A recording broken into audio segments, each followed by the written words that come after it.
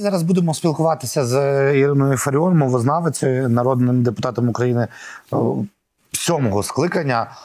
І пані Ірина не раз е, доволі у критичній формі. Це я так е, м'яко і дипломатично говорю. Висловлювалася е, щодо персоналі міністра освіти е, Шкарлета, як багато її побратимів. Отже, е, з всіх з усіх е, зараз видозмін, які які будуть е, зараз в українському уряді, адже там опублікував сьогодні Шмигаль Пост, в якому зазначив про збільшення повноважень у міністра цифрової трансформації пана Федорова, який, вочевидь, стає віце-прем'єром з цих питань, і також інших змін, які е, відбулися. Саме відставка Шкарлета викликала е, найбільший інформаційний інтерес. Як е, ви її розцінюєте? І, чи- найбільше радості. так, і чи не запізно? От таке запитання. Добрий вечір. Слава Україні, пані Ірино. Героям добрий вечір. Чи чуєте? Так, так. Е, о- От щось в мене фонить звук. Вас не фонить? Нас не фонить, ви Але пробуйте так. говорити в разі чого, то наші звукорежисери поправлять. Хіба би вам дуже незручно було, тоді будемо щось по ходу вирішувати. Добре, ну шановне товариство, наскільки можливо змінити е, сьогоднішню освітню систему? Тільки в тому випадку, коли е, пропонований міністр освіти, пан Лісовий, змінить її ідеологію. Якщо він не змінить її ідеологію, то він просто буде е, пішаком у їхніх руках. І я так зрозуміла, його діяльність буде курувати Федоров. Е, Федоров, який насправді відповідає за, так би мовити, цифрову політику, і це, так. чесно кажучи, не має жодного стосунку до освітньо-наукової царини. Бо коли ми говоримо про освітню наукову царину, то йдеться про смисли, йдеться про основні посили не лише в контексті знань, а в контексті кого ми виховуємо. Е, Тобто, наскільки самостійною фігурою може стати пан Лісовий, який походить е, з виняткової родини. І він є сином дуже відомого філософа, пана Василя Лісового, який е, в українському суспільстві, принаймні притомному, має дуже високу оцінку. Е, Праця е, пана е, Лісового, культура, ідеологія, політика мала би бути настільною для кожної людини. Але разом з тим ми усвідомлюємо, що посада міністра освіти вона політична. І наскільки панові лісовому вдасться провадити інший політичний курс, я маю на увазі не ліберально-космополітичний в освіті, а національний курс. Ворожити на ту тему я не думаю, що є сенс. А є сенс власне задуматися, от е, в, ці дні зміни міністра над тим, що катастрофічного ми маємо у системі освіти. Я менше обізнана е, щодо освіти шкільної, але те, що ми маємо в вищій освіті, е, це новітня форма колоніалізму. Тобто це абсолютно розстріляні і зруйновані національні засади освіти, і це не зробив Шкарлет. Шкарлет просто-напросто продовжував те, що робили його попередники. А попередники це Діма Табачник, це Лілія Грінєвич, це Сережа Квіт. Це для мене всі люди в одному і тому синонімному рядові, тому що вони вищу освіту перетворили у торги. Е, Нас, всіх науковців, е, підсадили на платформу, яка називається Scopus або Web of Science. А це означає, що нам просто-напросто залізли у кишеню і е, створили в науці і освіті сегрегацію. Суть цієї сегрегації полягає в тому, що питома освіта, питома наука, питомі галузі знань посідають абсолютно вторинну роль. Це найстрашніше, що можна було собі уявити. У нас дуже люблять кричати про дискримінацію якихось там меншостей або ще там когось. А мені здається, що сьогоднішня система освіти це найбільшою мірою є дискримінація науковців. Тому що науковців через платформи Scopus і Web of Science, які завела е, Гриневич, а потім Квіт, через цю платформу Scopus і е, of Science, Web of Science наш, нас, науковців, позбавили свободи вибору друкування. Тобто ми з вами докотилися до такої стадії, яку навіть, чесно кажучи, в Совєтському Союзі можна було обійти. І це всупереч базовим статтям нашої конституції. А нашої конституції 34 і 54 стаття, де чітко зазначено, що існує свобода творчості. А в нас немає свободи творчості. Нас всіх загнано в скопус, тобто в монополіста. Монополіст це спільне підприємство голландсько-американське. Чи здатен буде лісовий кардинально змінити це? Бо воно розгортається у світових масштабах. І українці, я так бачу, зокрема, цей, так би мовити, провід або істеблішмент абсолютно не готові до того, щоб боротися з тим насильством над українськими науковцями. Це попри те, що існує так званий Лейденський меморандум, який підписало понад 16 тисяч науковців з усього світу, які виступають категорично проти того, що науковцям вказують. Де вони мають публікувати свої статті, та ще й платити за це гроші, та ще й ставати в черзі, це стрімко звужує можливості їхнього кар'єрного зростання і швидкої реалізації своїх наукових здобутків, бо вони стоять в черзі, поки їхні дослідження опублікують. Ем, крім того, це брутально порушує 46 статтю закону України про наукову і науково-технічну інформацію. Але чи голосно про це кричить наша наукова спільнота? Ну звісно, що ні. Я можу назвати ну хіба щонайбільше 5-10 осіб, які це опублічують. І, зокрема, я також була підписантом одного із листів буквально за рік е, до повномасштабного вторгнення і ще 19 науковців. Ми зверталися тоді до президента України, до Верховної Ради України, до міністра Шкарлета, щоб негайно призупинити оцей процес заганяння науковців е, в єдину е, платформу друкування своїх праць. До речі, скажу, що саме слово скопус е, означає гора в Єрусалимі. І на цій горі в Єрусалимі е, є такий собі кампус, як вони кажуть, одного із е, єрусалимських університетів. Тобто неважко здогадатися, хто став сьогодні монополістом науки. Наскільки сьогоднішня українська наукова спільнота готова з тим? Боротися. Це один контекст проблеми. Другий контекст проблеми наскільки ми готові будемо повернутися до тих засад нашої науки і освіти, які ми почали виробляти цілком слушно всередині 90-х років, коли ми у нашій гуманітарній науці вибудовували національну парадигму, яка тепер навально, агресивно і тупо заступлена космополітичною парадигмою. Що це означає? Це означає, що у науці від космополітизму до колоніалізму один крок.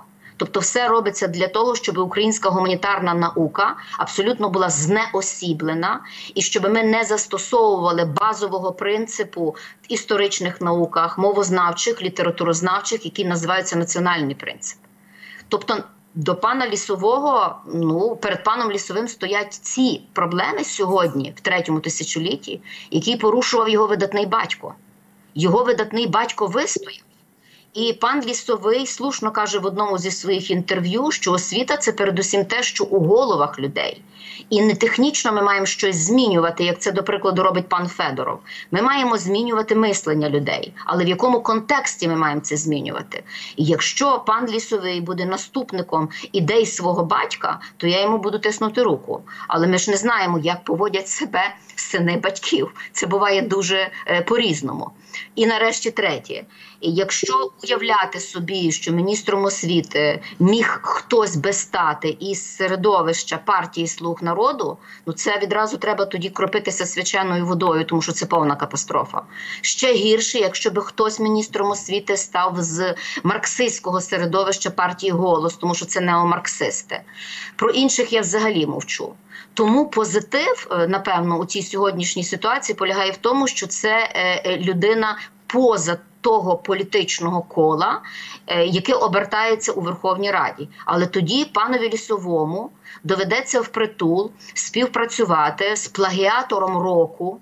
Бо плагіатор року 2019-го – це очільник комітету з питань освіти і науки Бабак. І тому першим тестом для пана лісового на його ідеологічну цілісність буде дуже простий тест. Він поверне історію України у ЗНО. Чи він буде повторювати тезу від бабака, а потім цю тезу повторив Шкарлет, але автор цієї тези не Шкарлет, а бабак. Що ми не можемо насильно вивчати історію, але ми можемо насильно вивчати математику. Якийсь когнітивний дисонанс виходить. От як з цієї ситуації буде виходити пан Лісовий? І ще одне запитання е, до нього, як до сина видатного філософа Василя Сидова. Що ви будете робити з українською літературою, е, з дисципліною, яка формує світогляд? Бо наскільки мені відомо, міністр освіти Квіт е, трактував освітні процеси як бізнес і виступав за те, щоб система навчання була винятково платною. Що бюджетну систему навчання ми маємо скасувати. Так, от я звертаюся до пана лісового і до всіх тих, які мене чують. Ми у вишах не продаємо своїх знань.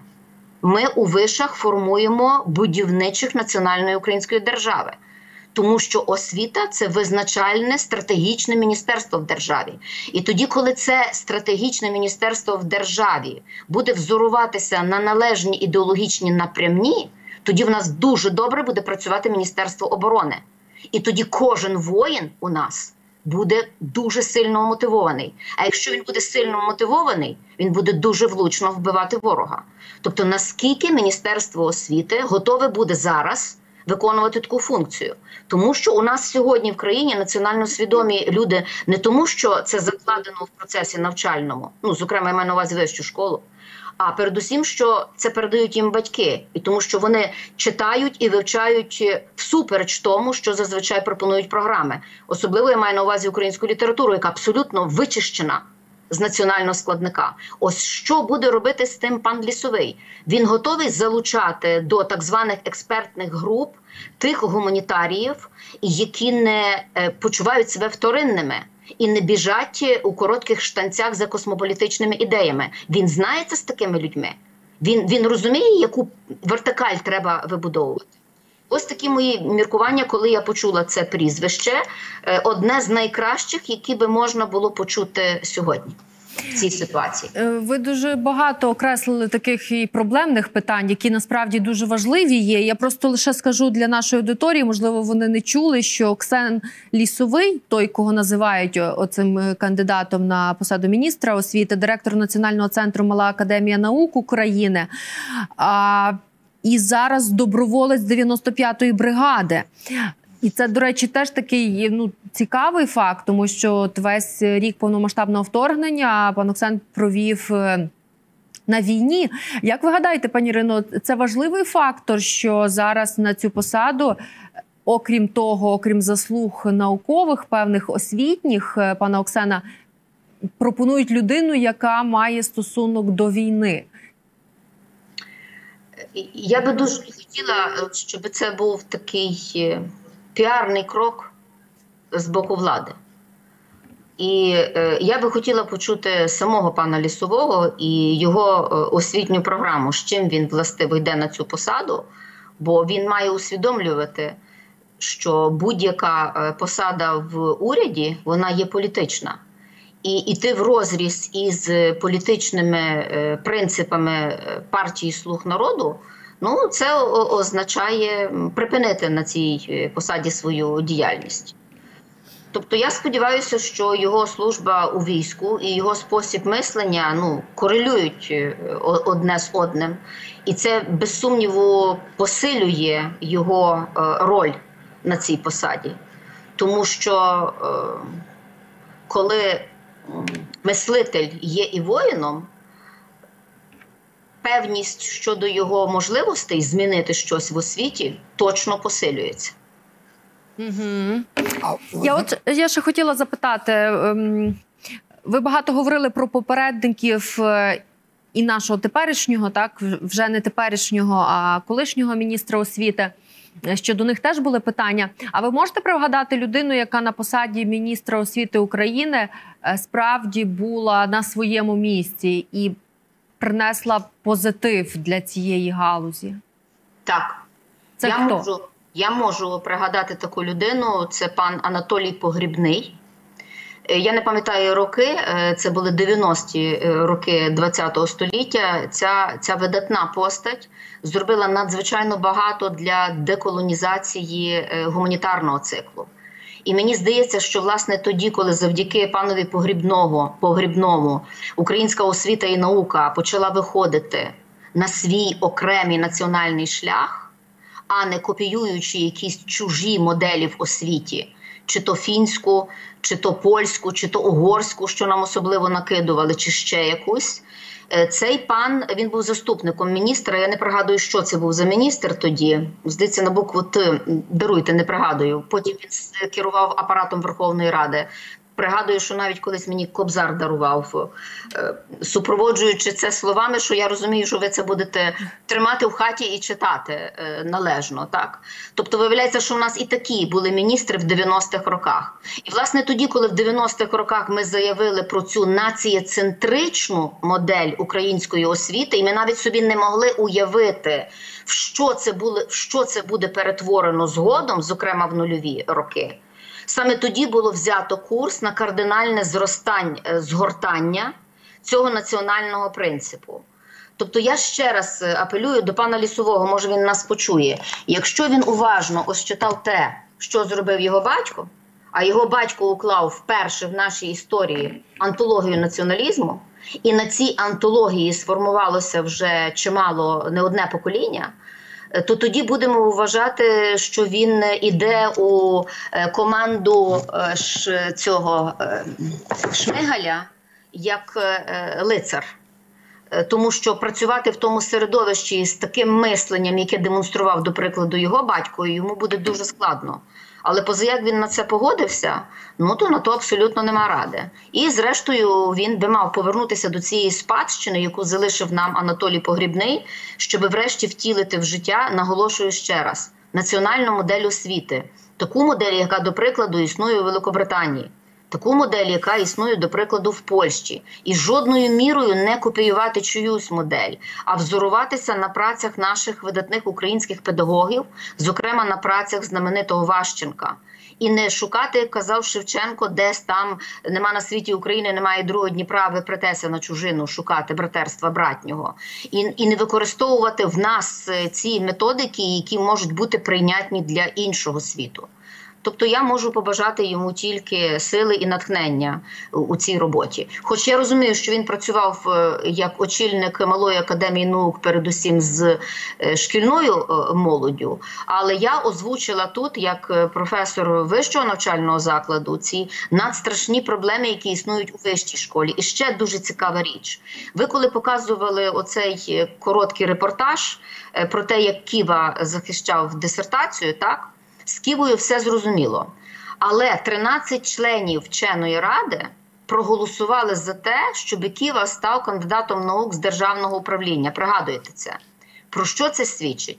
Це свідчить про те, що в науці, так само як і в інших е, сферах нашого життя, дуже багато е, неадекватних постатей які дуже далекі насправді від оцього принципу, про який я завжди говорю, від національного принципу. Бо якщо от в цьому в цій вченій раді, де захищав дисертацію, цей ну як це назвати, так якщо би там сиділи притомні люди з мозком, а не з чимось іншим замість мозку, вони б ніколи за це не проголосували.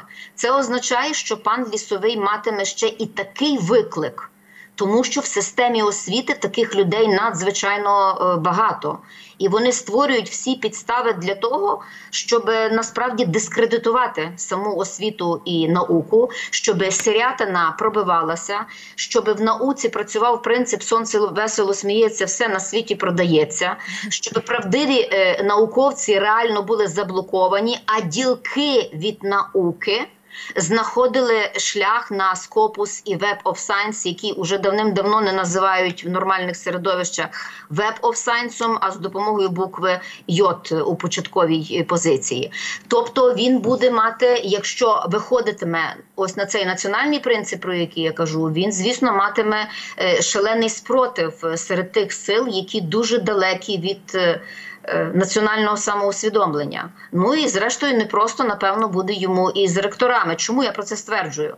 Ну то тому, що в системі вищої освіти дуже легко лягли всі під скопус і вепом Сайнс. У цьому листі, який підписувала я і ще 19 осіб, не було жодного очільника вищого навчального закладу. Вони всі панічно бояться, і вони просто підлягають цій чужій космополітичній системі, яка вбиває український розум. Розумієте?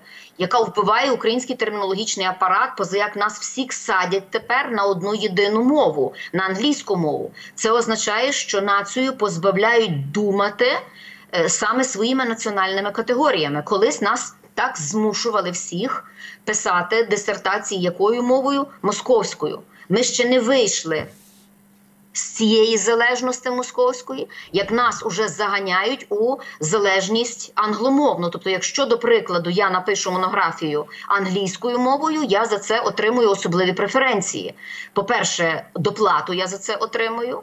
Е, По-друге, високий рейтинг. Це означає, що знову ж таки в самій українській державі все українське стає вторинним, і воно визначено політикою Міністерства освіти. Чи буде приймати це пан лісовий, що все українське, що є в освіті, вторинне, і воно випливає, оця вторинність українськомовного, передусім продукту, а мова це інструмент думання нації, воно випливає з нікчемного ліберально-гібридного мовного закону, де написано, що дисертації можна захищати українською або англійською мовами. Так що було написано в моєму законі? В моєму законі було написано захист дисертацій, а це на сьогодні найвищий вияв наукового продукту.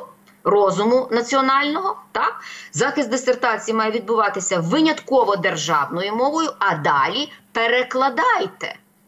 Перекладайте, але основний продукт ви маєте дати своєю мовою. Цього нас вчив один із найпотужніших фізиків світу.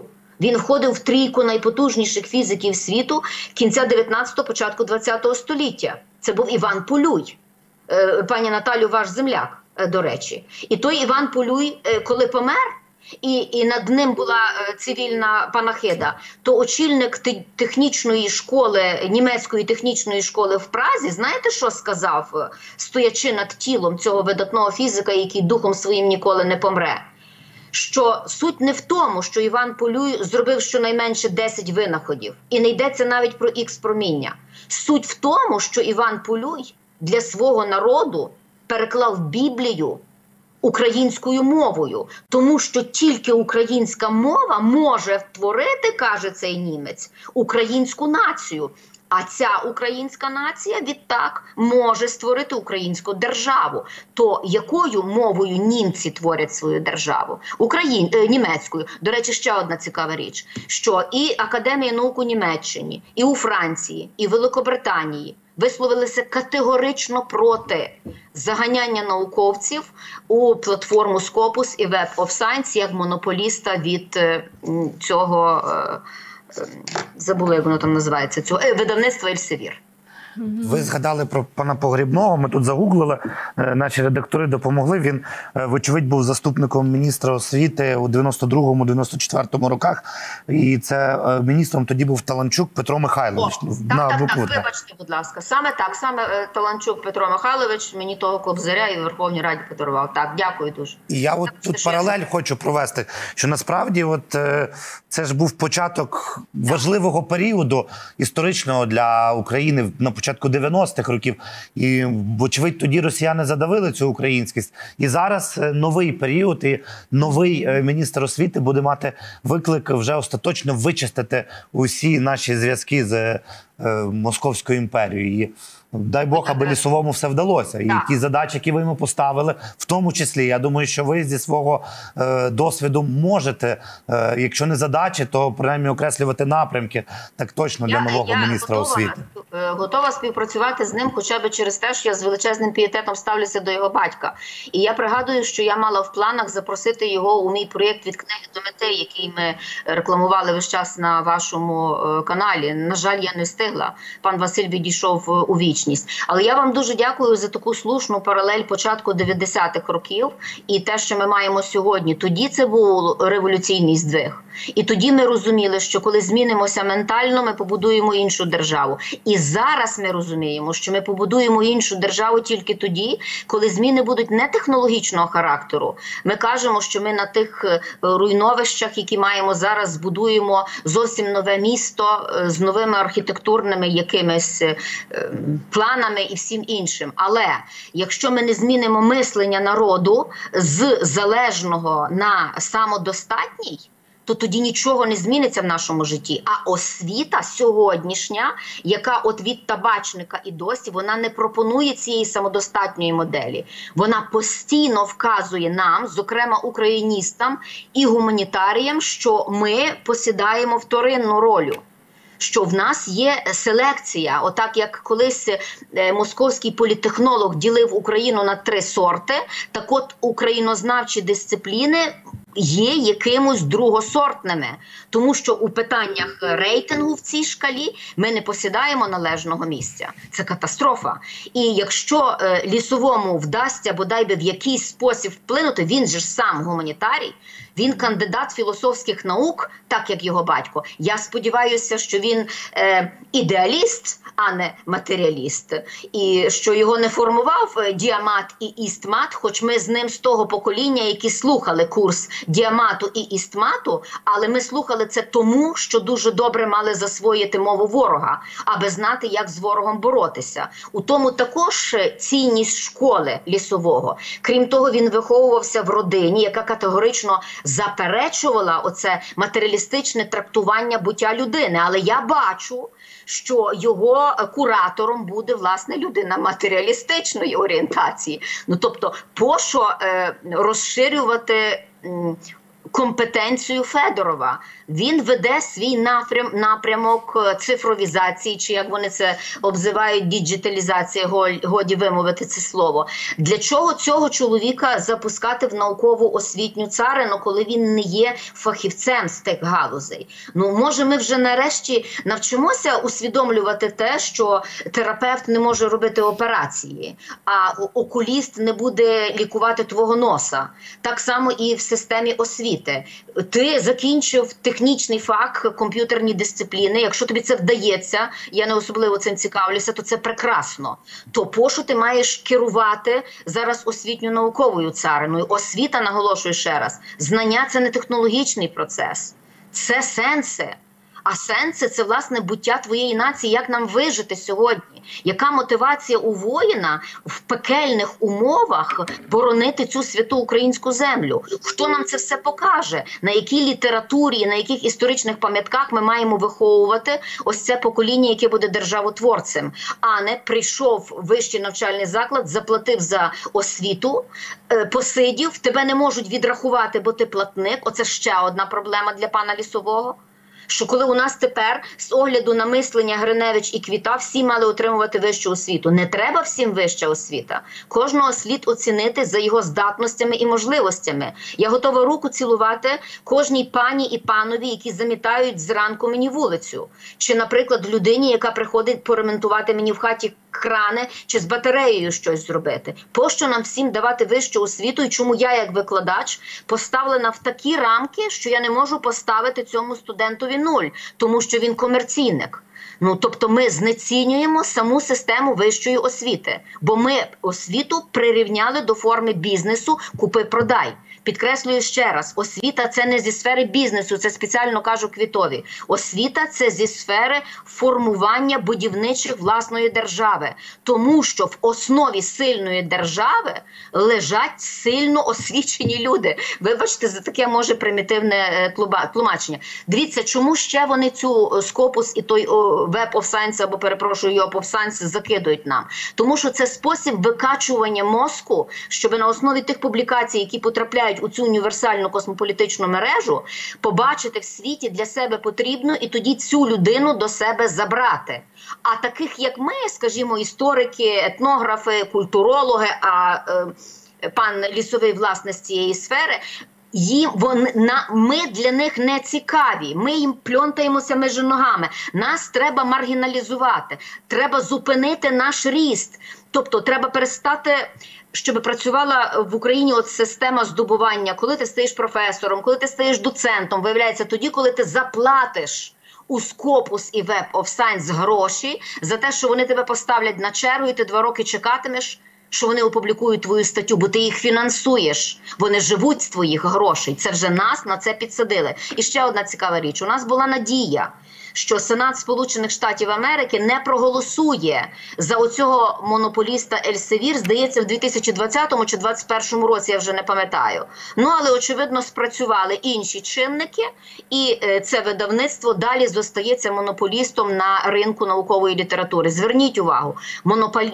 монополія у будь-якій царині це припинення будь-якого розвитку. Чи це в царині економічній, чи це, це в царині медійній. Ви, як медійники, маєте це дуже добре знати. Що означає, коли є монополіст? От тепер в освітню сферу завели монополіста. Я бажаю панові лісовому, якщо ну принаймні не побороти це, то е, стати в опозиції до цієї біди і підтримати оцей лейденський маніфест, і підтримувати науковців Німеччини, Франції і Англії. Бо чи може собі уявити е, викладач професор Сорбонни, коли йому кажуть, коли ти опублікуєш статтю? Чи монографію англійською мовою, то ти будеш вищий у рейтингу в своєму університеті, ніж коли ти її опублікував би французькою. Розумієте? Тобто, навіть якщо в них там цей, е, е, ця платформа працює Scopus і Web of Science, вони не сегментують суспільства, вони не принижують себе. Так як ми тут себе принижуємо через значну кількість, нехай на мене не гнівуються, через значну кількість дуже несамостійних, залежних, несміливих людей, які представляють українську освіту в її найвищих управлінських ешелонах. Тобто, підсумую, у нас дуже багато розумних, талановитих і навіть геніальних людей в освіті і науці. Але в нас дуже мало в освіті і науці національних характерів, які, крім того, що будуть продукувати серйозні наукові праці, і ці їхні праці будуть спрямовані на захист національного інтересу. Вони радше продадуть їх. На оцей космополітичний смітник зароблять гроші і плюнуть, ніж будуть працювати на розвиток національної держави. Таких там дуже багато. Пані Ірино, ми ще вас не відпускаємо. Ще два моменти буквально. Е, наскільки я розумію, оця ідея з Михайлом Федоровим, який має як віце-прем'єр міністр бути тепер з інновацій, розвитку освіти, науки і технологій, е, ну полягає в тому, що все-таки його міністерство вважають одним з таких, яке показало результат. Зокрема, програма Дія, якою ми всі користуємося. Ці технології вони ну кажуть, що там багато в Європі, де такого нема. В нас це все працює класно. Вони там постійно щось нове вводять. Можливо, е, мені здається, що він якраз буде там вводити якусь технологічність, яка буде стосуватися саме освітнього процесу. Хочеться вірити, тому що ну технологічність, хай вона собі буде. Але ті проблеми, які ви окреслили, е, це справді це ну щось більш глобальне, яке точно для освіти потрібно. І я слухаючи це, розумію наскільки е, викликів цих багато, наскільки ці об'єми роботи взагалі великі. Але ще запитати вас хочемо, тому що про нас в нас в коментарях багато про це пишуть. Ну ми теж планували про це запитати. Е, якби я здогадуюся, я як, якби пропозицію таку отримали ви очолити міністерство освіти освіти науки України. Ви погодились, але розуміємо всі нюанси, які з цим пов'язані. Що справді посада якоюсь мірою все одно політична. У нас просто в коментарях пишуть, що це має бути Ірина Фаріон. От багато хто написав міністр освіти Ірина Фаріон. Е, ви як до цього ставитесь? Якби я був полтавським соцьким, знаєте, якби в роті виросли гриби. Цю пропозицію я колись отримувала. Отримувала її ага. після майдану, коли формувався уряд е, Яценюка. Чому не пішли? Прошу, чому не пішли? Можливо, все було б зовсім інакше? Це е, Яценюк і все те оточення, яке було навколо нього. Це люди ну діаметрально протилежного світогляду до мого світогляду. Тобто я з ними в жодною мірою не могла би знайти спільної мови, і е, це означає, що це був би щоденний конфлікт, і все одно питання не було би розв'язане. Тобто, якщо ти йдеш працювати у владу, то ти йдеш працювати як командний гравець. Е, чи можу я слух народу е, трактувати як свою команду? Ні, це не є люди мого світогляду і моїх переконань. Я розумію, що е, Зеленський сьогодні на міжнародному рівні втримує країну. І найважливіше, що ми реально воюємо, тому що в часи Порошенка ми не воювали, ми вмирали, нас стріляли і перестань стріляти. Пам'ятаю цю його е, заяву 14 лютого 2015 року. А тут реально вся країна мобілізована, і ми всі воїни. Тільки кожен воїн на своєму фронті, е, на фронті ідеологічному, на фронті інформаційному і так далі. Але е, якщо ти йдеш працювати в уряд, то ти мусиш мати там однодумців. Е, даруйте, я не бачу серед е, партії слуг народу однодумців, хоча б з огляду на те, за які закони вони голосують е, у Верховній Раді. Я думаю, що пан лісовий складає собі звіт з того, куди він йде і в яке середовище. Я готова допомагати йому в інший спосіб, в, в, в контексті і укладання програм, експертних груп і так далі. І буду дуже вболівати за те, щоб він розвернув країну в освіті до національного принципу. А коли переможуть е, націоналісти численно в парламенті, і вони сформують уряд, то тоді власне це буде те, що треба. Апогей, апогей. Давайте ще подивимося. Нардеп Железняк опублікував в своєму телеграм-каналі заяву Шкарлета, яку він написав про відставку, і в якій, написавши своє прізвище, зробив помилку. Принаймні так виглядає з того, що ми бачимо. Шарлет. Поки Шкарлет вийшло чомусь шарлет або якесь шарлете. Ну я не знаю, може в нього такий почерк, це складно якось там аналізувати. Ну виглядає, що букву він одну пропустив. Ну ось так. Так закінчує цей міністр. Ну а пригадуєте, як починала міністр перед Шкарлетом? Здається, її прізвище було Новосад. Там було 15 помилок в одному її дописі. Ну от То ви я... тоді проаналізували це. Я так. тоді це я тоді це аналізувала. Ну можливо, тут людина хвилювалася, коли це писала. Розумієте, це вже таке. Так. Тут я в того залізняка чи желізняка, як його прізвище, багато чого іншого хотіла запитати. Слава Богу, що не не совсунне висунуто на посаду міністра освіти. Бо якщо б це сталося, то я реально би вже казала, давайте може вже я краще, бо це це просто катастрофа. Тому мені здається, що з паном е, лісовим у, у нас є е, шанс, але. Е, не покладаємо якихось особливих на нього надій і зобов'язань, щоб потім не було дуже боляче приземлятися. А просто з огляду на те, що я про нього знаю, Е, а знаю не так багато. Побажаємо цій людині реально служити нашій високій національній ідеї і служити тому, що робив його батько. Він сам сказав, що те, що ми живемо в країні, де можемо обирати, е, а не в Росії, е, це заслуга його батька. Тому син має йти ще далі, ніж ішов батько, і оці е, основи національного вибору залишити в освіті і науці, тому що ми вибору сьогодні не маємо. Е, звісно, що одинаки змагаються. Е, і вперто роблять своє, незважаючи на ніщо, але от тим одинакам, які проти цієї системи, е, створені колосальні бар'єри в їхньому кар'єрному зростанні. Тобто нас не можуть зараз заслати до Сибіру, Казахстану і де-інде. Нас не можуть зараз розстріляти, як розстрілювали всю українську е, історичну і філологічну еліту. Пригадуєте, Затонський е, міністр освіти в 1934 році звітував, що за один рік від 33 до 1934 року розстріляли 1940, ні, 1600, 1600, здається, 46 е, філологів і істориків.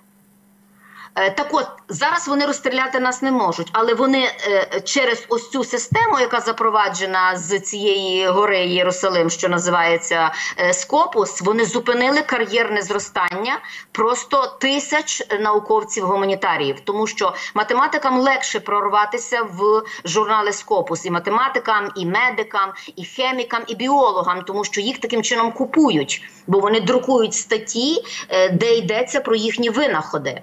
А наші винаходи той світ не цікавлять, тому що наші винаходи працюють на зміцнення національної вертикалі, тобто на побудову ще одної дуже сильної національно сильної держави. В центрі Європи, і ми довели це своєю незламністю впродовж цього року. Ви думаєте, світові е, це м, вони всі можуть з тим змиритися? Думаю, що ні. Вони розуміють, що виростає дуже потужний конкурент. І є ось один зі способів цього конкурента обмежити. Тобто, це дуже далекосяжна. Е, Позиція через створення оцієї платформи, з якою борються всі притомні науковці світу, борються.